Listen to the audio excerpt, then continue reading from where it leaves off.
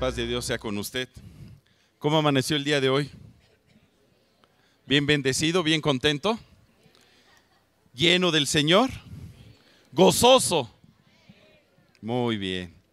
Significa que usted está caminando en luz, que la luz de Cristo está resplandeciendo en su corazón. Yo le voy a invitar a que abra la escritura en el libro de Proverbios capítulo 3, versículo 32. Hoy vamos a ver la segunda parte de un tema que dejamos inconcluso hace tiempo, que por diferentes circunstancias no lo habíamos podido terminar. El nombre de esta enseñanza es Ten comunión con la luz, segunda parte. Dice Proverbios 3:32, porque Dios abomina al perverso más su comunión íntima, ¿con quién es? Con los justos. Vamos a orar. Padre, y queremos tener comunión contigo, una comunión íntima. Anhelamos cada vez más y más de tu presencia. Te pedimos que sea tu Espíritu Santo hablando el día de hoy a nuestros corazones a través de esta palabra que tú renueves nuestro entendimiento, que cada uno de nosotros podamos salir de las tinieblas y caminar hacia tu luz cada día, que sea tu luz resplandeciendo en medio de nosotros, justificándonos, limpiándonos, restaurándonos, llevándonos a vivir en vida y en bendición. Gracias te damos, porque este es un don que recibimos a través de nuestro Señor Jesucristo, quien es la luz de este mundo. Amén. Amén. Tal vez no se acuerde, pero vamos a hacer memoria un poquito de qué fue lo que vimos en aquella ocasión. La vez pasada vimos, número uno, que Dios desea tener comunión íntima con cada uno de nosotros. Jesucristo vino a este mundo para que podamos nuevamente tener relación con el Padre. Así como en el principio el hombre se paseaba en el huerto del Edén y platicaba con el Señor al aire del día. Había una comunión, había una amistad, una relación. Usted ha leído el libro de Génesis y sabe que en el capítulo 3 el hombre cayó en desobediencia. Y a causa de esa desobediencia vino el pecado a la humanidad. Y por el pecado, la muerte. Y en ese momento el hombre quedó separado de la presencia de Dios. Y no porque Dios lo haya querido, sino que fue una decisión, una elección del hombre. El hombre se escondió de la presencia de Dios y quiso vivir en obscuridad.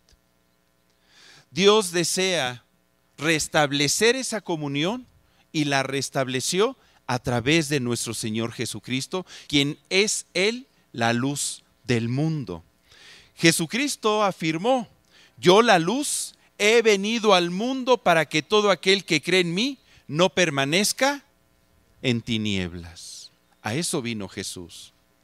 Número dos, Dios no puede tener comunión con las tinieblas o con el mal. Es muy clara la palabra. ¿Qué comunión tiene la luz con las tinieblas? ¿Qué concordia hay entre Cristo y Belial o el enemigo? Ninguna. De manera que cuando el hombre vive en pecado o en maldad, pues tampoco no puede tener comunión con Dios. Las tinieblas representan lo contrario a la luz. En sentido figurado, representan el reino del mal gobernado por Satanás. Representa todo lo corrupto, todo lo perverso que el mundo ofrece para engañar al hombre. Es la representación del pecado, las tinieblas. La representación de su seducción y de la muerte que ocasiona. Los valores, los pensamientos, los principios, los hábitos y las costumbres que rigen a este mundo. Todo pertenece al campo de las tinieblas. Y Jesucristo dijo al apóstol Pablo cuál era su misión en la vida. Ahí en Hechos 26, 18.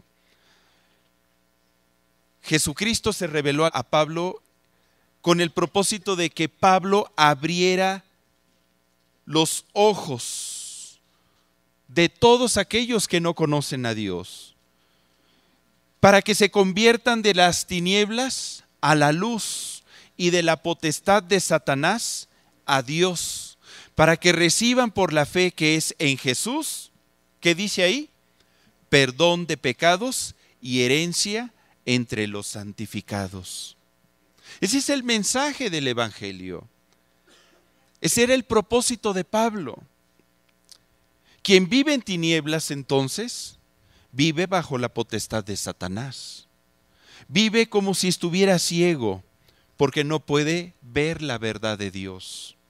Es por eso que debe de venir la luz de Cristo, para que alumbre el entendimiento y resplandezca Cristo en su corazón y pueda ser trasladado del reino de las tinieblas al reino de luz. Dice la escritura que el Dios de este siglo cegó el entendimiento de los incrédulos, de los que no creen en Dios, para que la luz del Evangelio no les resplandeciese. De tal forma que cuando la luz de Cristo no resplandece en nuestro corazón, en nuestros pensamientos, no podemos convertirnos a Él. No podemos salir de la oscuridad porque vivimos en tinieblas. Pero gracias a Dios tenemos la certeza de que la luz en las tinieblas resplandece y las tinieblas no prevalecen contra ella. La luz siempre se va a oponer a las tinieblas. Pero nosotros, ¿qué tanto nos oponemos a las tinieblas? En teoría, nosotros deberíamos de rechazar y aborrecer las tinieblas. ¿Sí o no?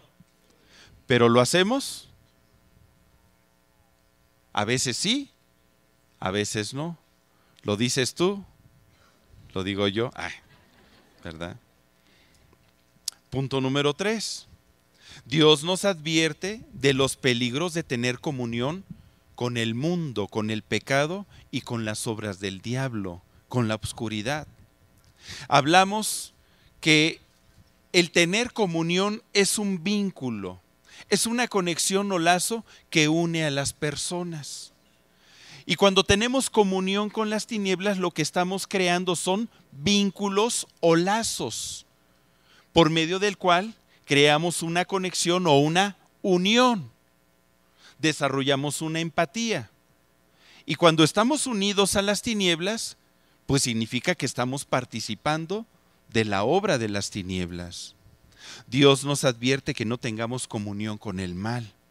Y su mensaje es consistente a lo largo de todas las sagradas escrituras. Mire, vamos a ver algunos pasajes donde Dios nos invita a salir de la oscuridad y a no tener comunión con el mal. Acompáñeme, por favor, en el Antiguo Testamento al libro de Deuteronomio 18, Vamos a leer del versículo 9 al versículo 14. Deuteronomio 18, del 9 al 14. Dios es muy consistente en este mensaje. Sal de las tinieblas, ten comunión con la luz. A lo largo de toda la escritura. Y en el Antiguo Testamento, aquí aparece Dios por medio de Moisés hablándole al pueblo de Israel, diciéndole, cuando entres a la tierra que el Señor tu Dios te da, lea conmigo esta parte, por favor. No aprenderás a hacer según las abominaciones de aquellas naciones. Sigo leyendo. No sea hallado en ti quien haga pasar a su hijo o a su hija por el fuego, ni quien practique adivinación, ni agorero, ni sortílego, ni hechicero, ni encantador, ni adivino, ni mago, ni quien consulte a los muertos. Porque es abominación para con Dios cualquiera que hace estas cosas, y por estas abominaciones el Señor tu Dios echa a estas naciones de delante de ti. Perfecto serás delante del Señor tu Dios, porque estas naciones que vas a heredar, agoreros y adivinos oyen, Más, lea conmigo, a ti no te ha permitido esto el Señor tu Dios. Vea qué claro es nuestro Señor. Dice ahí en el versículo 9, no aprenderás a hacer según las abominaciones de aquellas naciones. Las costumbres, los hábitos, las maneras de pensar, las filosofías, la sabiduría de este mundo. Para Dios es insensatez y en ocasiones cosas abominables. ¿Qué significa abominable? Que su alma rechaza, que no gusta, que busca apartarlas de sí.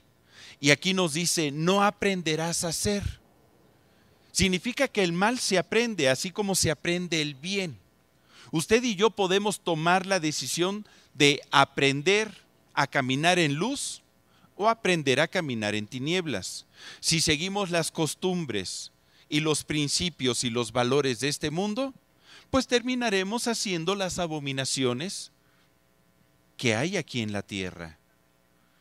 ¿Sabía usted que el espíritu de la potestad del aire gobierna en los hijos de desobediencia?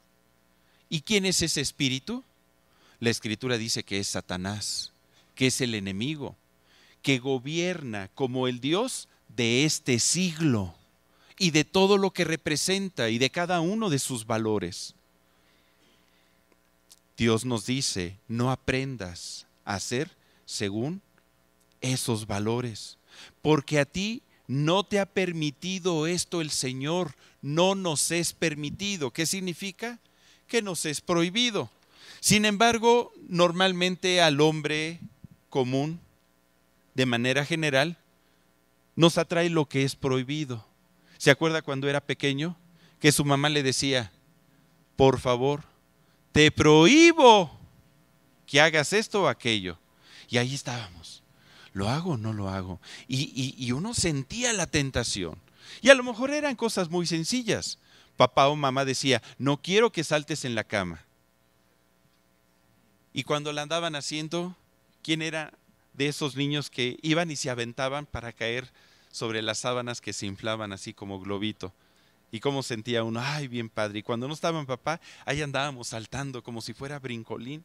Y cuando nos caíamos y nos descalabrábamos, ay, mi papá tenía razón, mi mamá tenía razón.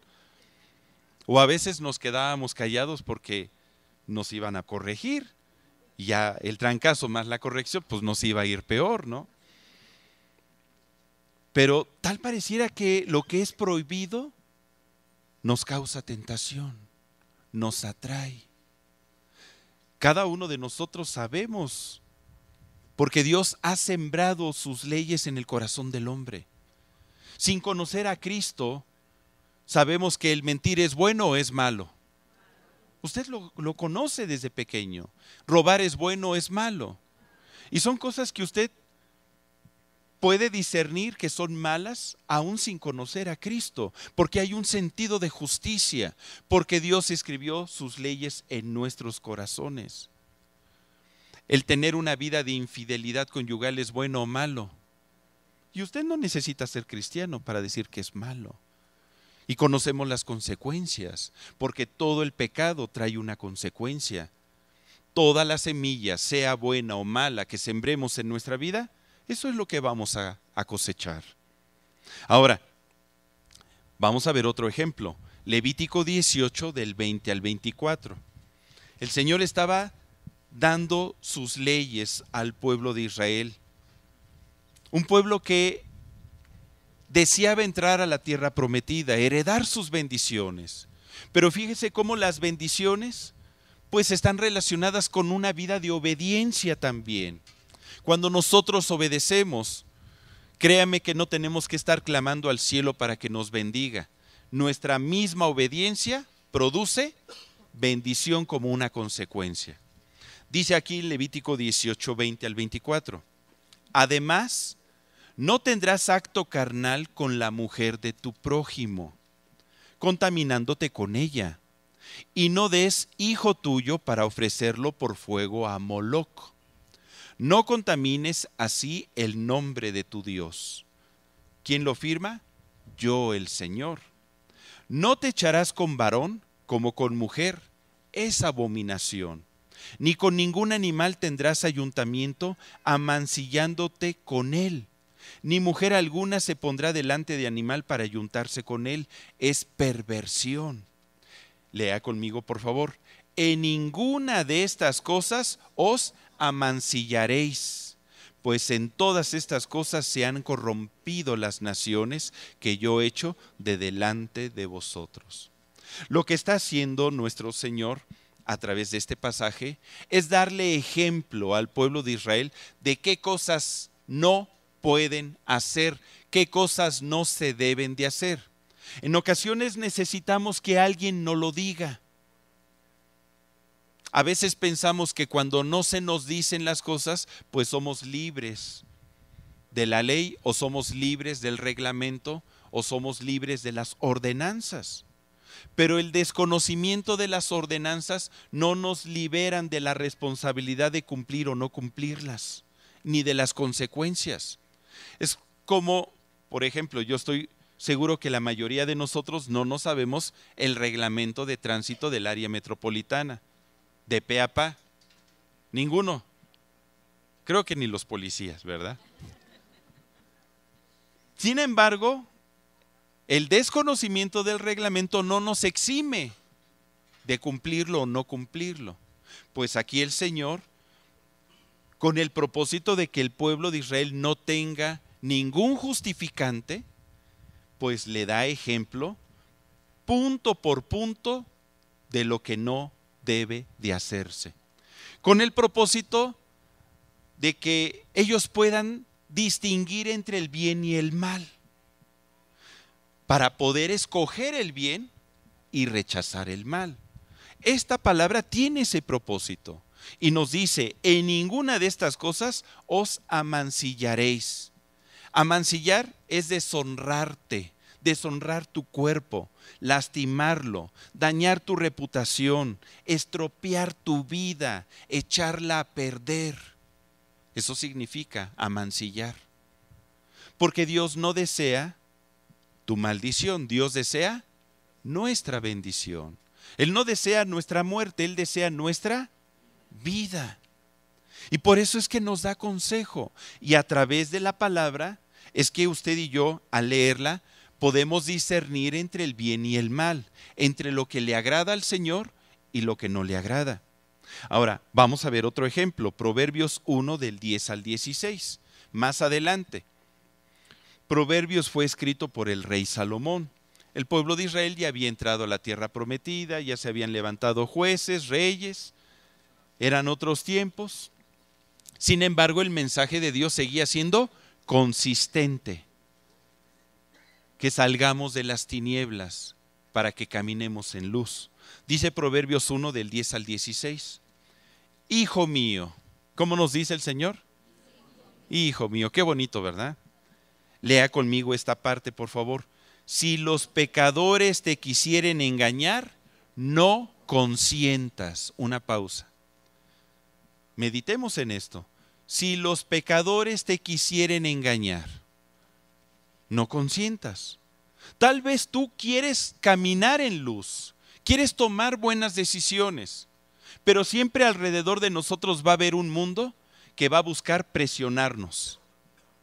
Típico el joven que cede a las presiones de sus amistades para que empiece a fumar, para que empiece a tomar, para que pruebe la droga, para que haga, haga algo incorrecto.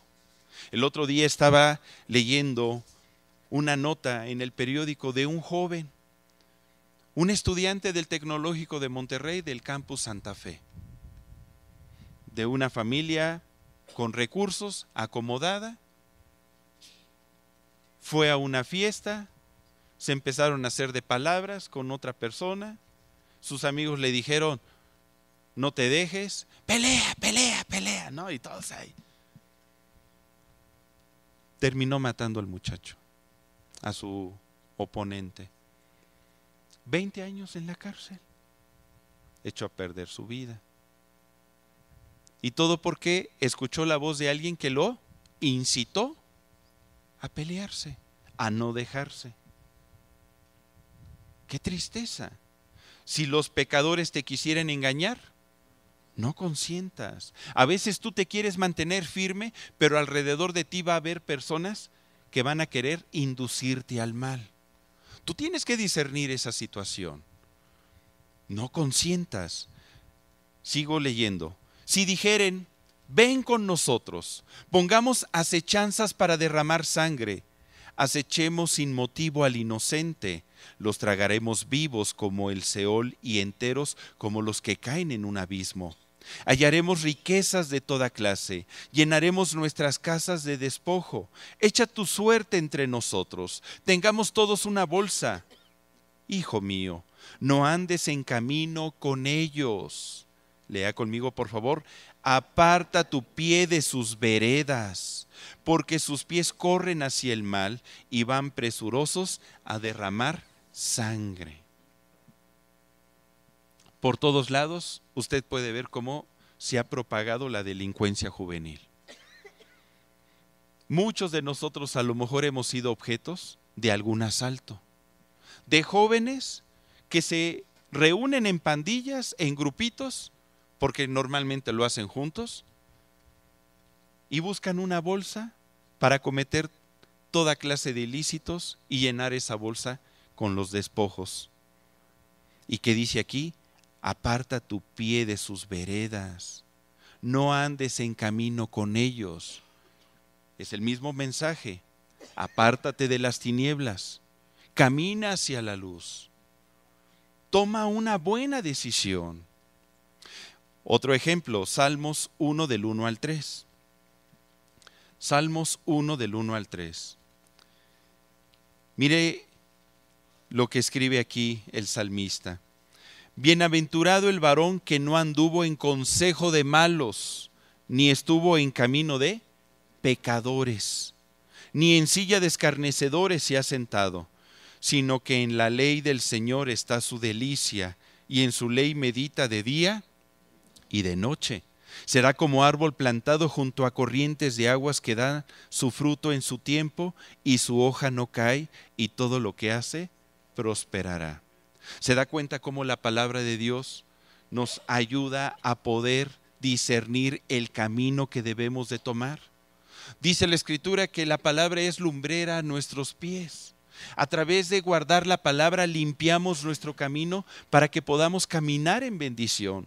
Hacemos a un lado las piedras que pudieran ser de tropiezo Qué importante es enseñarle a nuestros hijos la palabra. Qué importante es estarnos nosotros llenando de ella día a día para que podamos tomar buenas decisiones. A través del apóstol Pablo, el Señor sigue hablando, pero ahora a la iglesia. Acompáñeme por favor a 2 de Corintios 6 del 14 al 18. Ya son los tiempos de la iglesia de nuestro Señor Jesucristo. Y el mensaje de Dios sigue siendo consistente. Apártate de las tinieblas y camina o ten comunión con la luz. Segunda de Corintios 6 del 14 al 18. Lea conmigo, por favor, el primer versículo, el versículo 14 dice, no os unáis en yugo desigual con los incrédulos, porque ¿qué compañerismo tiene la luz con la justicia ¿Y qué comunión la luz con las tinieblas? ¿Y qué concordia Cristo con Belial? ¿O qué parte el creyente con el incrédulo? ¿Y qué acuerdo hay entre el templo de Dios y los ídolos? Porque vosotros sois el templo del Dios viviente. Como Dios dijo, habitaré y andaré entre ellos y seré su Dios. Y ellos serán mi pueblo. Por lo cual, ¿qué dice ahí? Salid de en medio de ellos y apartaos, dice el Señor, y no toquéis lo inmundo, y yo os recibiré y seré para vosotros por Padre, y vosotros me seréis hijos e hijas, dice el Señor Todopoderoso. Normalmente nos gusta mucho escuchar mensajes que hablan de fe, de cómo heredar promesas, de cómo vivir en bendición, de cómo ser más felices y llevar una vida más cómoda, sin tanto esfuerzo. Pero el día de hoy ese no es el mensaje, hermano. El día de hoy el mensaje es que usted y yo podamos escudriñar nuestra vida y que podamos examinarla y utilizar la palabra de Dios como un filtro para entresacar lo precioso de entre lo vil, para poder deshacernos, desechar lo que nos está contaminando, lo que no le agrada a Dios, lo que nos está llevando a vivir en tinieblas, para poder caminar en luz, poder desechar lo inmundo, lo que pudiera estar amancillando nuestra vida. Y Dios dice aquí que nos apartamos, que salgamos de todo eso. Pero es una decisión personal. A veces no nos gusta. Uno pudiera decir, hermano, pero si yo me porto bien. Hermano, la verdad, pues esta palabra yo creo que es para mis familiares, para aquellos que no conocen a Cristo, pero yo soy cristiano, mire, mire, tengo aquí mi aureola y mis alitas, mire, estoy aquí sentado, pero si no estaría volando, ¿eh? Porque yo me porto bien. Al final el propósito de Dios es que nos guardemos de toda contaminación de carne o de espíritu y que perfeccionemos la santidad en el Señor, la santidad en nosotros. Pero ¿por qué, hermano Jorge? Usted lo sabe. ¿Qué dice Hebreos 12:14?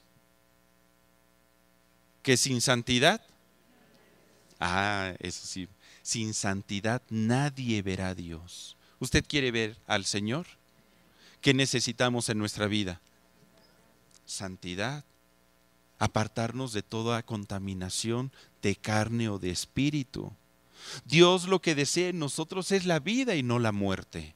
A eso vino Jesús, a darnos vida y vida en abundancia.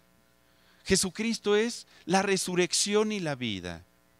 Pero para poder heredar la vida, pues necesitamos escoger la vida y no la muerte. Es por eso que al pueblo de Israel Dios le animaba constantemente diciendo, escoge pues la vida para que vivas tú y tu descendencia. Ahí está en Deuteronomio 30, 19, si toma apuntes. Escoge pues la vida. ¿Qué va a escoger el día de hoy, hermano? Pero dígalo con alegría. No diga, pues la vida, pues ya ni modos. No, la vida. Escojo la vida, hermano. Quiero la vida, quiero vivir. Ah, pues entonces hay que desechar la oscuridad y las tinieblas de nosotros. Porque ¿qué comunión tiene la luz con las tinieblas? Ninguna. ¿Qué comunión tiene Cristo con Belial? ¿Qué comunión tiene las obras de Dios con las obras de las tinieblas? Yo no puedo caminar en Cristo, un pie en Cristo y un pie caminando con el diablo o caminando con el mundo. ¿Qué dice el apóstol Santiago? Cualquiera que quiera ser amigo del mundo, se constituye en enemigo de Dios. Amados, no améis al mundo ni las cosas que están en el mundo. Es una invitación consistente. Usted lo encuentra a lo largo de toda la escritura. Dios no ha cambiado, su palabra sigue siendo la misma y su mensaje también, un mensaje de vivir en santidad, un mensaje de apartarnos del pecado. Por eso es que debemos de arrepentirnos y decirle, Dios, perdóname. Si he fallado, perdóname, me arrepiento de mis pecados. Porque quiero tener comunión contigo, quiero caminar en la luz, porque te necesito en mi vida. Si usted ha estado escuchando este mensaje constantemente y usted dice, no, es que todavía no es mi tiempo. No, es que hasta que Dios ponga en mí el querer y el hacer por su buena voluntad. Ay, hasta se sabe la escritura, ¿no? Pero no cambiamos. No queremos caminar en la luz. ¿Qué tiene que pasar en nuestra vida? En ocasiones escucho testimonios de personas que dicen, es que hasta que no me pasó esto, no tomé conciencia y me di cuenta de mi necesidad por Dios. Es que estaba a punto de morir, es que tenía cáncer, es que me dio un paro cardíaco, es que me operaron, es que me cayó un rayo, es que me mordió un burro. Y hasta que no nos pasa algo, es cuando entendemos Y entonces sí, queremos entregarle nuestra vida a Cristo. Y a lo mejor uno dice, es que yo se la voy a entregar, pero más adelante. Allá cuando ya tenga 70, 80, 90 años. El último día de mi vida. Pues ya para qué? Fue una vida desperdiciada. Desperdiciada en el pecado. Pudiendo ser un instrumento de bendición y llevar una vida de bendición y ayudar a que los que están alrededor de ti, principalmente tu familia, puedan vivir en bendición, no lo hiciste. ¿Por qué? Porque amabas más las tinieblas que la luz. Amabas más las tinieblas que la luz.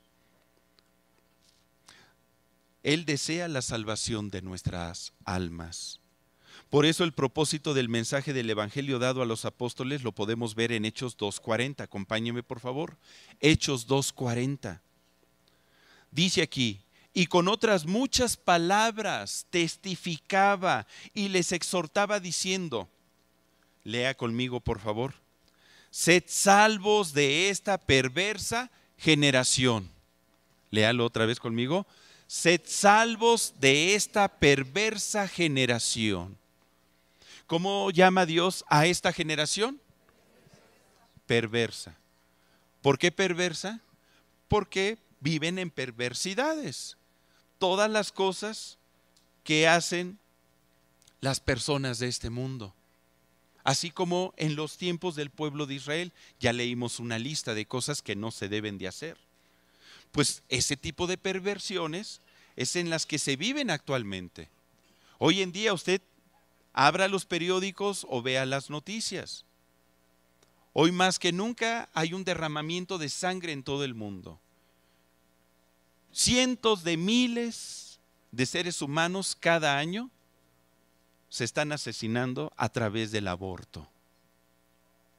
Miles de seres humanos. Hoy en día en muchos países se está legalizando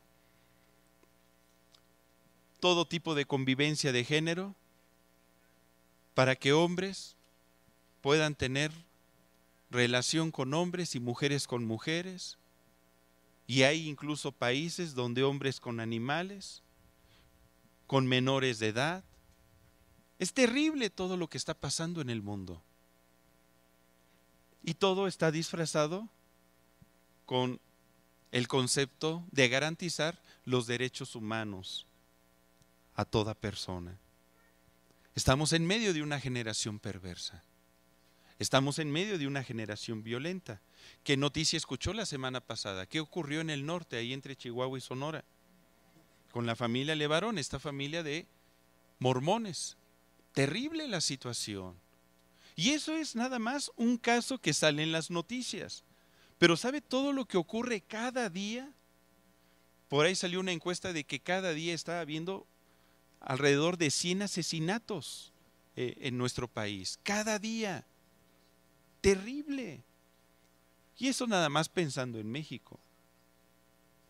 Ahora, no con esto le estoy asustando. Ay, hermano, pues ¿qué se me hace que me voy a Yucatán? ¿No? Como dicen, si se acaba el mundo, me voy a Yucatán. Me voy a Mérida. Ahí va a estar la cosa más tranquila. La realidad es que la paz que se necesita, usted y yo no la vamos a encontrar en este mundo. La paz está en Jesucristo. Y Él da una paz que el mundo no puede comprender ni recibir porque no le ve ni le conoce. Pero a los que le conocemos, a los que le hemos recibido como Señor y Salvador, créame que es una bendición y su paz está en nosotros, aún en medio de la adversidad y en medio de una generación perversa. Dios nos está diciendo, sed salvos de esta perversa generación. Tú debes de escoger, debes de tomar una decisión, debes de tomar una posición firme. O vas a caminar en luz o vas a caminar en tinieblas. O escoges la vida o escoges la muerte. Tal vez es fácil escoger la luz cuando vivimos en la luz. Si la luz de Cristo ya resplandece en nosotros, es más fácil escoger la luz. Cuando vivimos en la luz podemos ver o discernir las intenciones del maligno podemos discernir cómo opera el espíritu de este mundo en los hijos de desobediencia. Pero cuando no conocemos a Cristo, vivimos en tinieblas y es difícil caminar en luz. Yo me acuerdo de joven, mientras vivía en obscuridad, alejado de Dios, yo no podía distinguir ni ver el mal. Solía tomar, solía fumar, como toda la gente que no conoce a Dios. No entendía que estaba perjudicando mi cuerpo con el vicio. Pero cuando la luz de Cristo resplandeció en mi vida, en ese momento pude ver y pude entender el mal que hay detrás de la bebida y del tabaco. La luz de Dios hace evidente el mal. Mientras yo estaba en obscuridad, yo no podía ver el mal. Cuando Cristo vino a mi vida y su luz resplandeció en mi corazón, ahora entiendo el mal que hay detrás de los vicios.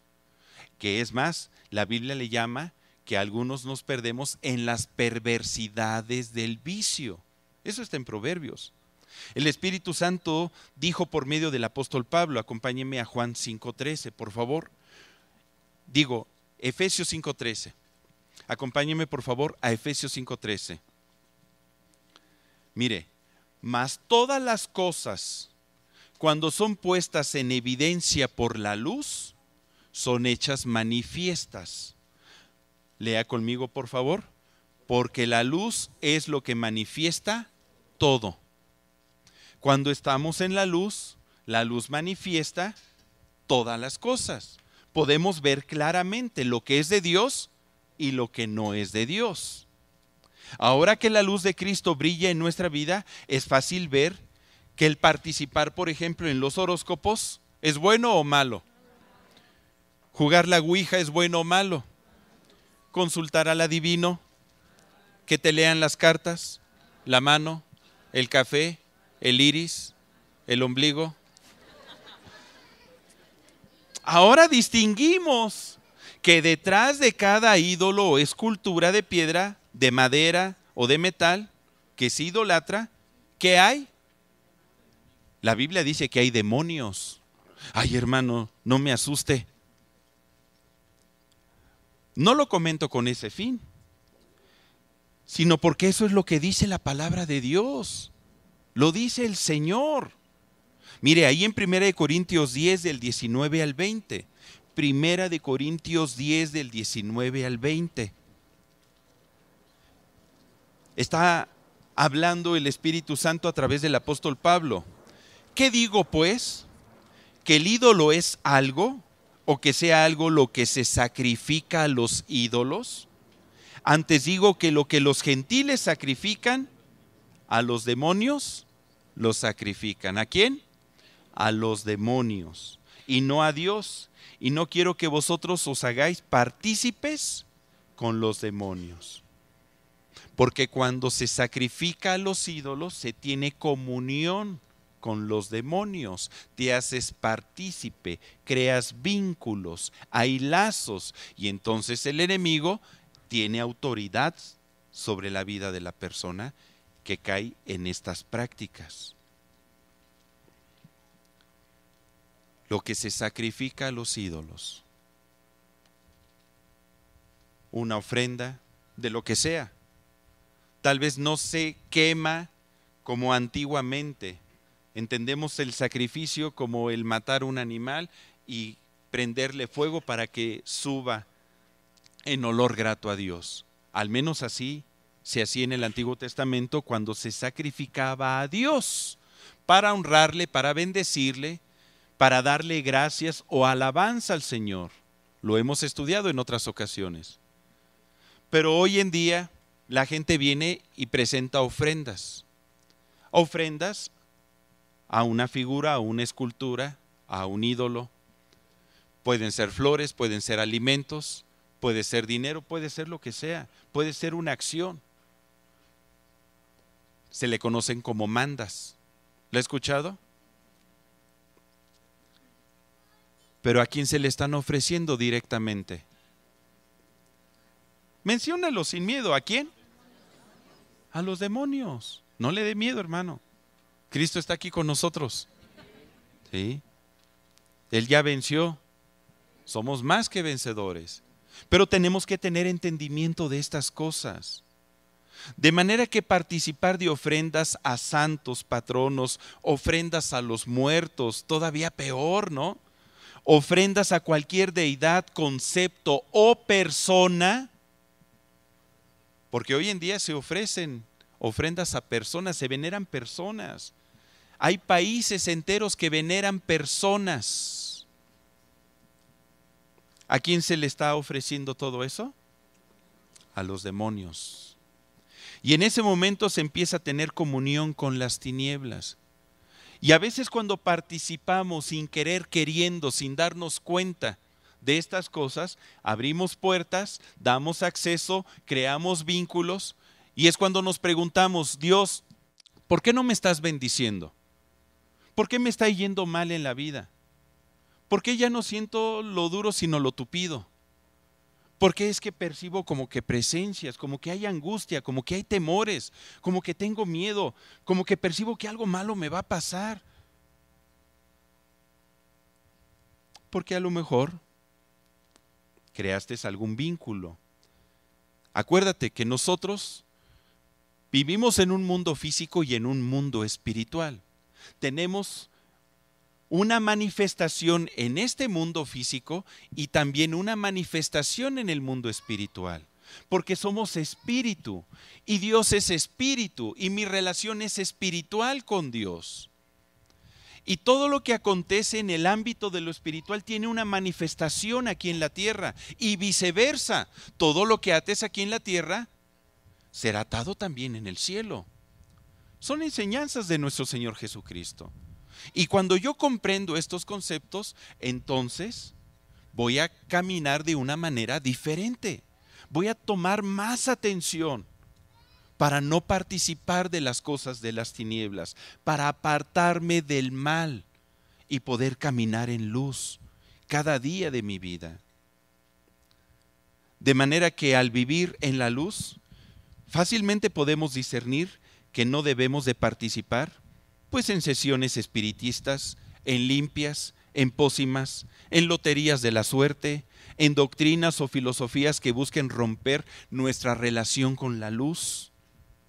Pero ¿qué pasa cuando las seducciones, trampas o artilugios de las tinieblas no son tan evidentes? Habrá cosas que podemos discernir y decimos, no, espérate, esto viene del diablo, luego, luego. Pero ¿qué pasa cuando hay trampas o situaciones que tienen apariencia de bueno, pero ¿qué cree? Es malo. Ay, hermano, esa es una muy buena pregunta. Mire, la Biblia enseña que el mismo Satanás se disfraza como ángel de luz. Ahí está en 2 de Corintios 11:14, si usted está tomando apuntes. El enemigo y el mundo se han especializado en disfrazar el mal con apariencia de bien, con el fin de engañar aún a los escogidos. ¿Cuántos escogidos hay aquí? ¿Ustedes de los escogidos? ¿Sabe que el enemigo va a tratar de engañarle aún a usted también? Jesucristo lo advirtió en Marcos 13, 22. Acompáñeme por favor. Marcos 13, 22. Dice la escritura, palabras de nuestro Señor Jesucristo para que tomemos consejo.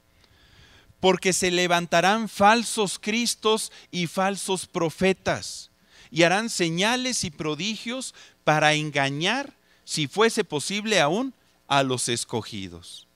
Es por eso que en una ocasión llegaron unas personas con Jesús y les explicó diciendo, en aquel día algunos de ustedes me dirán, Señor, en tu nombre echamos fuera demonios, en tu nombre hicimos milagros, en tu nombre. ¿Y qué les contestará el Señor? Yo a ti no te conozco. Habrás hecho esto en mi nombre, pero yo a ti no te conozco. Tú nunca caminaste en luz, tú caminaste en tinieblas. Y aquí dice, se levantarán falsos cristos y falsos profetas y harán señales, prodigios para engañar. No donde usted vea un milagro significa que ahí está Dios. No donde usted vea una sanidad significa que ahí está Dios, necesariamente. Como que ya cuesta más trabajo discernir. ¿Lo percibe? Donde pudiéramos ser engañados incluso nosotros aún teniendo conocimiento de la palabra. Mire, el Espíritu Santo se lo advirtió al apóstol Pablo ahí en Primera de Timoteo 4.1. Primera de Timoteo 4.1. Dice, pero el Espíritu dice claramente, ¿quién está hablando? El Espíritu Santo, que en los postreros tiempos, ¿está de acuerdo que estamos viviendo los postreros tiempos? Sí. Algunos apostatarán de la fe escuchando a espíritus engañadores y a doctrina de demonios. Ay, hermano. O sea que aún yo tengo que discernir cada enseñanza, sí. Usted tiene que discernir la enseñanza que está recibiendo en este lugar. Usted tiene la responsabilidad de ir a las escrituras para ver que lo que se le está diciendo es así. Por eso debemos de ser un pueblo y una iglesia que amamos las escrituras. Por eso en esta iglesia motivamos a que usted lea la palabra de Dios todos los días de su vida, no solamente una vez, cada día de su vida, para que podamos tener más herramientas para poder discernir. Porque si hay espíritus engañadores y si hay falsos maestros o profetas, que pueden ser utilizados por el enemigo, ¿cómo poder discernir quién es servidor de Dios y quién no? Porque yo quiero caminar en luz, yo no quiero caminar en tinieblas. La palabra de Dios es nuestra guía, pero también es el Espíritu Santo. De ahí la importancia de llenarnos del Espíritu Santo. El Espíritu Santo viene a nuestra vida para guiarnos a toda verdad. Mire, usted conoce la palabra. El Espíritu Santo nos guía a toda verdad, porque de Él no puede emanar mentira. ¿Y cómo puedo distinguir la verdad cuando hay una consistencia en el mismo mensaje? Cuando hay una consistencia entre las palabras y las acciones de vivir en santidad. Si usted quiere saber si la verdad está en usted, porque usted pudiera ser engañado por usted mismo y pensar que está caminando en la verdad y no está caminando en la verdad. Si sus obras son consistentes con la verdad de Cristo, si usted está decidiendo salir de las tinieblas y caminar en luz y lo demuestra con sus actos, la verdad está en usted. Y entonces el Espíritu de Dios le está guiando verdaderamente. ¿Comprende lo que le estoy diciendo, hermano? Cada uno de nosotros tenemos que examinarnos cómo estamos caminando. No sea que estemos caminando en obscuridad y la luz que creemos que hay en nosotros sean tinieblas.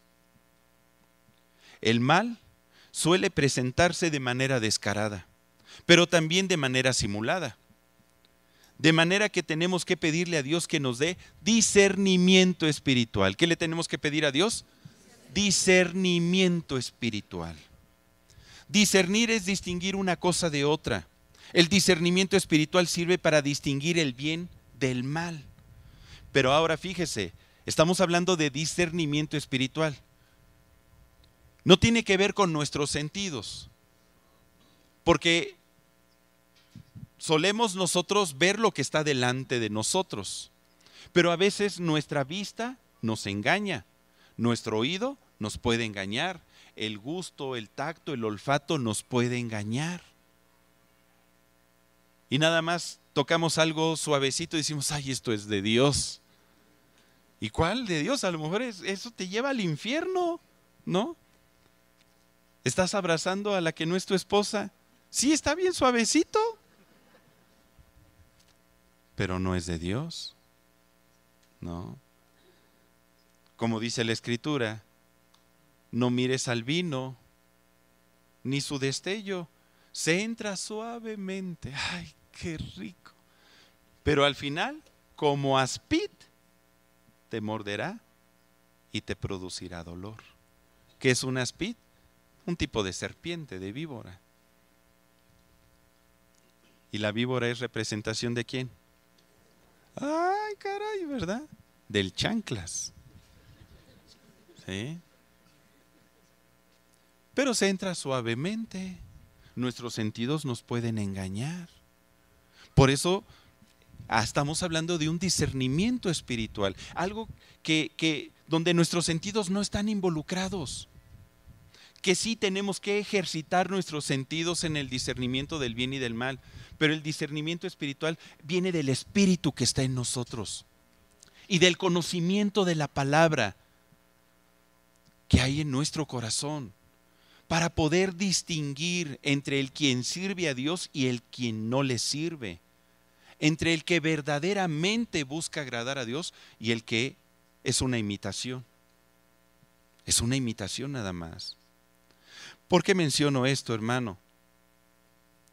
Porque es importante aprender estas cosas para caminar en la luz. La palabra de Dios es nuestra guía para distinguir lo bueno de lo malo. El Espíritu Santo en cada uno de nosotros. Pero ¿qué cree? No todos los males vienen descritos en la palabra de Dios para advertirnos, para que no caminemos en ellos. A lo largo de la historia el hombre, como dice Romanos 1.30, ha ido inventando males. ¿Sabe que se han ido inventando males? Hoy en día hay más males que en los tiempos de David o en los tiempos de Moisés. Porque se han inventado males. Usted lea ahí Romanos 1.30. Habla de los hombres de los postreros tiempos. Y una característica que dice de ellos es que son inventores de males. Hoy en día los hombres ponen pretextos para no salir de esta perversa generación. Y algunos, incluso que conocen la escritura, pudieran pensar, mira, es que la Biblia no dice que sea mala la cerveza, o el tequila, o el pulque. Si tú me traes un versículo donde diga, no beberás pulque, entonces te voy a hacer caso. No vas a encontrar eso. Se han inventado nuevas bebidas. No lo vas a encontrar. Es que la Biblia no habla que sea malo ir a bailar al antro. Si tú me dices, no vayas al antro, a ver, muéstrame un versículo, no vayas al antro. Mira, la palabra antro no existía. Ni la luz y el sonido y tú, tú, tú, tú. No, no, nada de eso. No existía. ¿Te imaginas a Moisés ahí? Pues no, al pueblo de Israel. Eran otras músicas, eran otras costumbres, pero usted recordará cuando estaban en el desierto que subió Moisés y Josué a recibir las tablas de la ley, pues el pueblo se desesperó, forzó a Aarón, construyeron, fabricaron un becerro de oro y se pusieron ahí a ofrecerle algarabía y media. Y de repente Moisés dice, oigo a lo lejos música de, de canto, de fiesta. Y Josué dice, no, espérate, esto es música de guerra. ¿A quién le estaban haciendo guerra? Al Señor. Estaban en sus festividades, dándole alegría a su cuerpo Macarena, o cómo dice. Algo así dice. Yo ni me la sé, hermano. Pero imagínese, estando ahí, moviéndose. Y uno dice, bueno, pero pues, ¿qué tiene de malo? Estoy haciendo ejercicio, estoy bajando de peso, estoy quemando calorías, es para mi bien, mi bienestar. A ver, hermano, es que yo no creo que sean malos los cigarros electrónicos. A ver, muéstreme un pasaje. No lo vas a encontrar. ¿Y ha escuchado las noticias cómo está produciendo muertes? Que los chavos se están yendo más rápido, se está produciendo cáncer más rápido, cada vez más rápido. O las revistas pornográficas, o las películas de terror. A ver, dígame dónde no puedo ir a ver películas de terror. No aparece. Yo no encuentro nada en la palabra de Dios que diga con esos términos o esos conceptos. Y entonces muchos se justifican. Entonces puedo ponerme piercing o un tatuaje. Me voy a poner un tatuaje. I love you, Jesus. Y hasta, lo, sí, lo cristianizan, ¿no? Bueno, y, es que nada más hay un versículo, hermano, en toda la Biblia, donde dice que no imprimirá señal alguna en tu cuerpo. Pero nada más dice eso, hermano. No dice más. Y en el Nuevo Testamento, pues como no lo vuelve a mencionar, entonces ya le hicimos. Ahí es donde tenemos que empezar a discernir, hermano, cómo quiere caminar. Usted nunca va a encontrar en la Biblia una cita que diga no escuches música de Marilyn Manson. No lo va a encontrar. Precisamente estos nuevos males se han ido gestando y necesitamos discernimiento espiritual. Ahora, tampoco se trata de ver demonios por todos lados. No es eso. No debemos de vivir asustados y terminando en mandamientos de hombres y en una vida de prohibiciones. También eso es terrible, porque no venimos a aprender aquí una religión, venimos a aprender una relación con Dios. Yo me acuerdo que hace años tuve en mi oficina a una mamá, creo que ya se lo platiqué en alguna ocasión, que, que vino y me dijo, hermano Jorge, mi hija se quiere suicidar. Era un adolescente, tenía como 16 años. Y ya veo a la niña y le digo, ay, hijita, a ver, platícame, ¿qué te está pasando? ¿Por qué te quieres suicidar? Ya había hecho como dos, tres intentos. Oye, está terrible eso, ¿no? El, ver que uno de tus hijos se quiere quitar la vida. Y, y la niña no se animaba a hablar. Le digo a la mamá, ¿pudiera esperarme aquí en la sala de espera? Déjeme platicar con su niña. Y ya la pequeñita empieza a comentarme, hermano Jorge, ¿es malo ir al cine? ¿Por qué, hija? Pues porque yo nunca he ido al cine. Mi mamá dice que es del diablo. Y cuando dijo eso, dije, híjole, si yo anoche fui con toda mi familia al cine. Sí, yo fui al cine. Y después me dice, hermano Jorge, es que, dígame, ¿es malo que yo use jeans? Porque yo nunca he tenido un pantalón. Mi mamá siempre, la niña traía una falda larga hasta el, hasta el tobillo. Nunca he usado un pantalón y todas mis amigas en la escuela, en la prepa, se burlan de mí. ¿Es malo utilizar un jean? Y dije, híjole, si le acabo de comprar unos a mi esposa.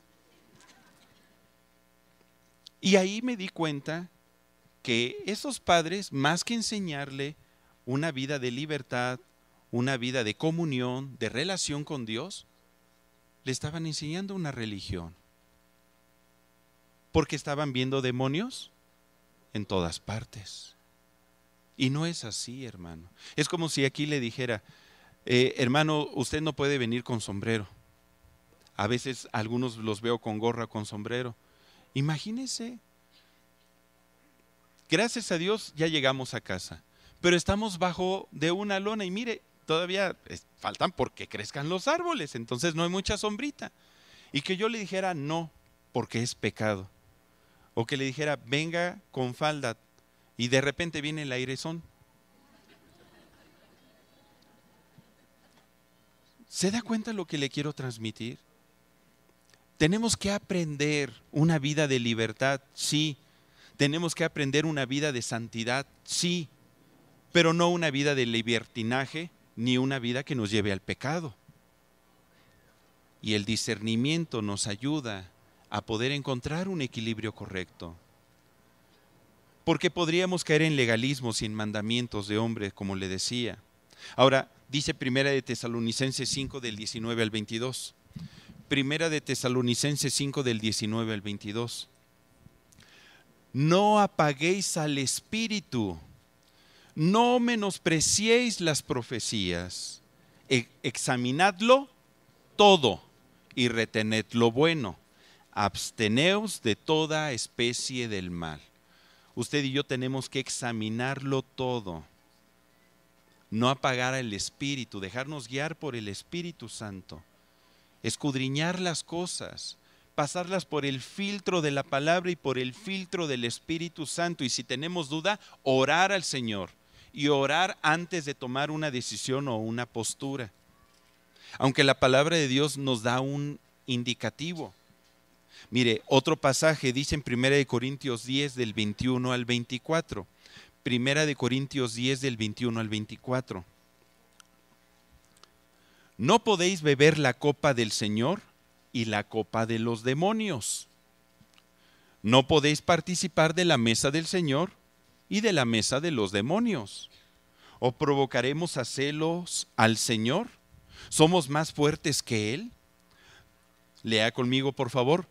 Todo me es lícito, pero no todo conviene todo me es lícito, pero no todo edifica.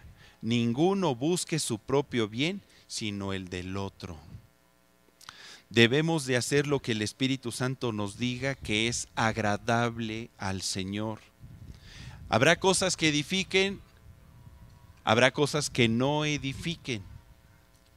Habrá cosas que podamos hacer en la libertad que Cristo nos ha dado y habrá cosas que uno decida no hacerlas.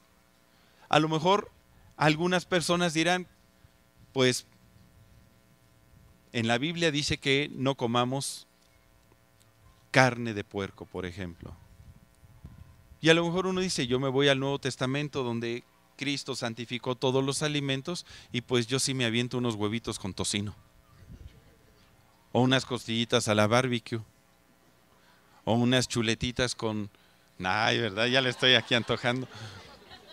Y a lo mejor dice, pues yo sí, pero si vas con tu hermano y tu hermano no come eso, o lo invitas a comer a tu casa, pues no le vas a servir eso, por amor a él.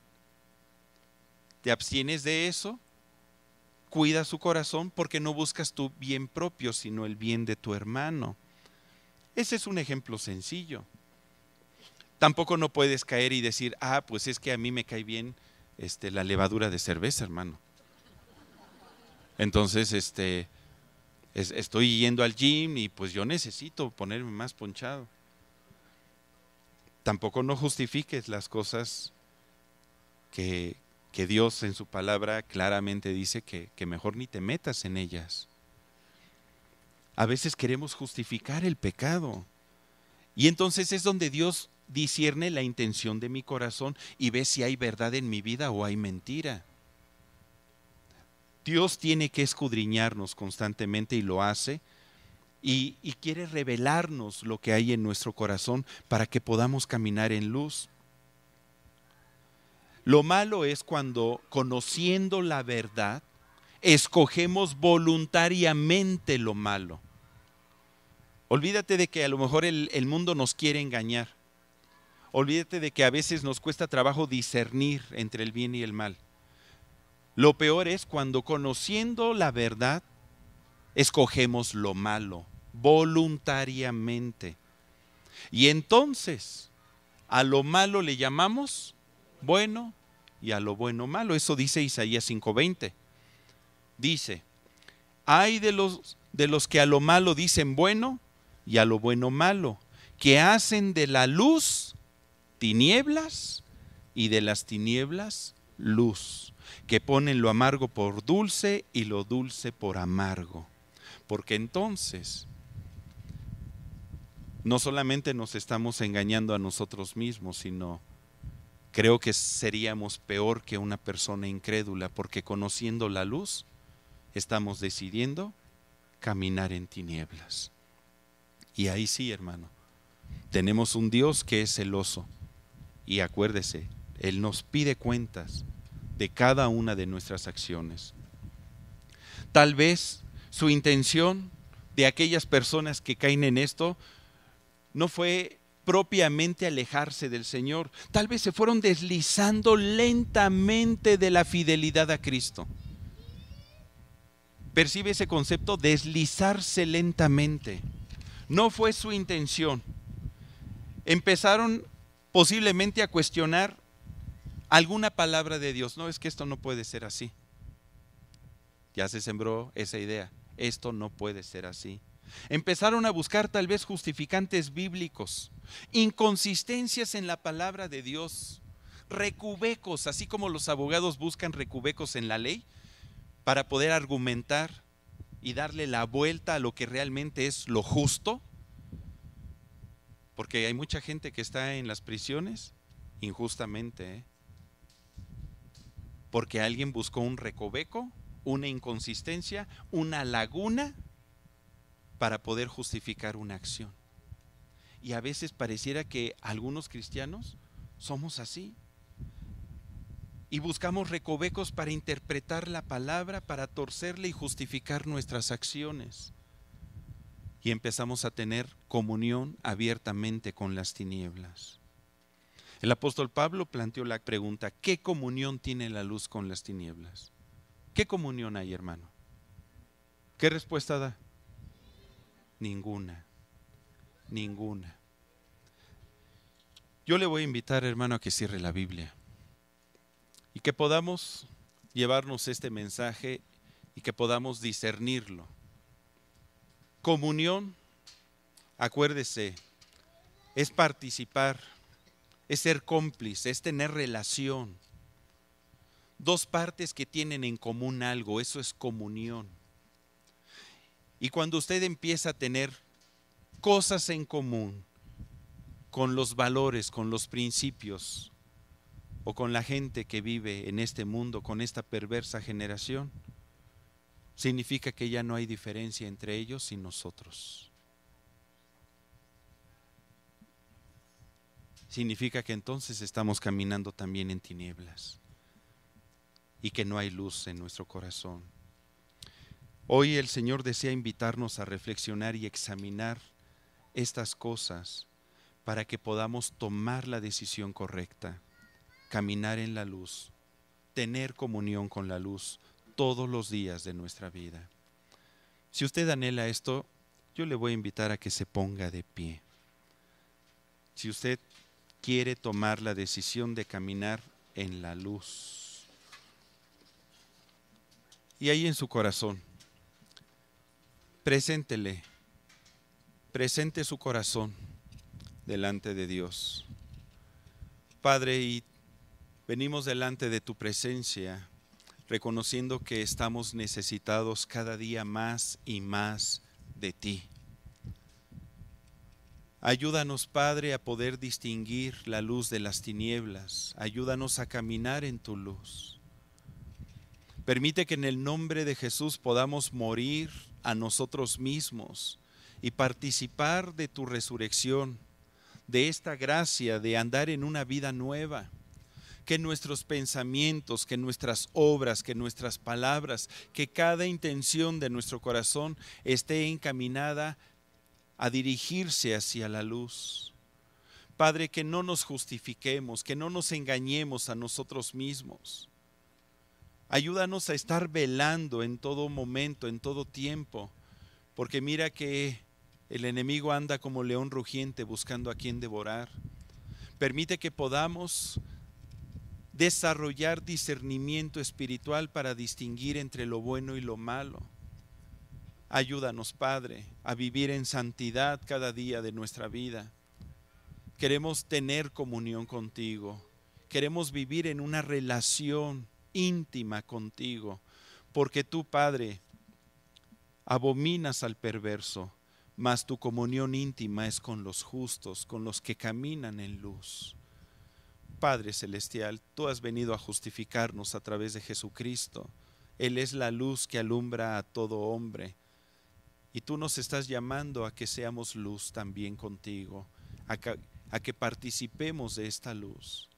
Renunciamos a toda obra de las tinieblas en nuestra vida todo aquello en lo que hayamos tenido participación alguna, de manera consciente o inconsciente, te pedimos perdón y renunciamos, Padre, a cada palabra, a cada ligadura, a cada atadura, a cada unión que se haya establecido con el reino de las tinieblas en nuestra vida. En el nombre de Jesucristo creemos que tú has venido a destruir las obras de las tinieblas.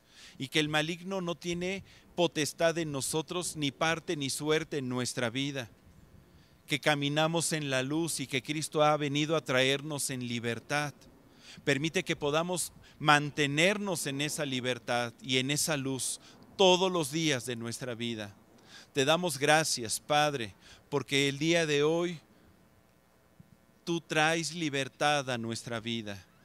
El día de hoy tu luz resplandece en medio de tu iglesia y tu bendición se hace patente. Gracias te damos, Padre, porque permites que podamos considerar esta palabra y tomar la decisión de caminar en luz cada día.